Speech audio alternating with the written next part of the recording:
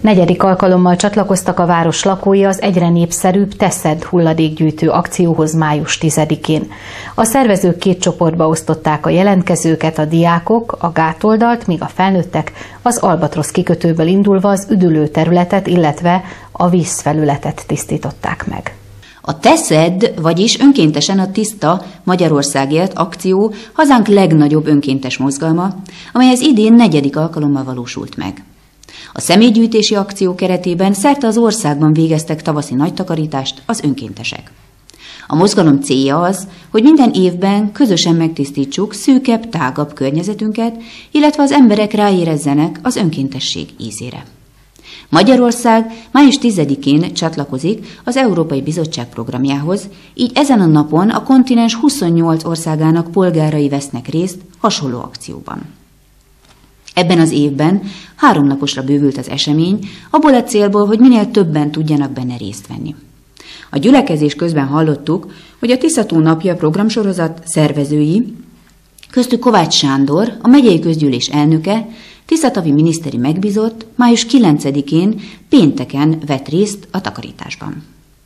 Az akció szervezése már korábban egy regisztrációval elkezdődött, hiszen az előkészületekhez, zsákok, védőkesztyűk beszerzése szükség van arra, hogy körülbelül hány fő kapcsolódik be a munkába.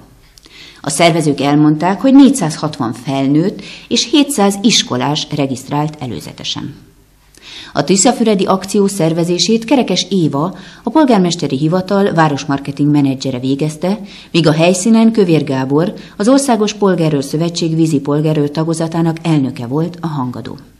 A szószoros értelmében, hiszen a munka kezdete előtt, az ilyenkor szokásos eligazításhoz szükség volt arra, hogy a tájékoztatót mindenki jól hallja. Kövér Gábor a résztvevőknek elmondta, hogy ezúttal is az Albatrosz kikötő nyújt segítséget a munkához, hajókkal, mentőmelényekkel. A szükséges baleseti oktatások megtörténtek, de itt is felhívták a figyelmet arra, hogy a legkisebb sérüléssel is jelentkezzenek a kikötőben, hogy elsősegélyt tudjanak nyújtani.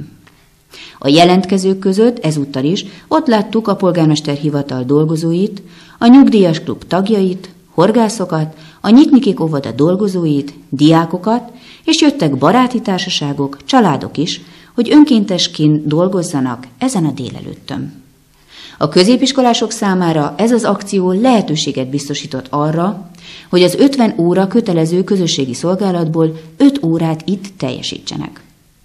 A résztvevők számára a jutalom az a kellemes érzés volt, ami a jól végzett munkát követi, illetve az a babgulyás, amit délben a polgárőrök kínáltak az akció önkénteseinek.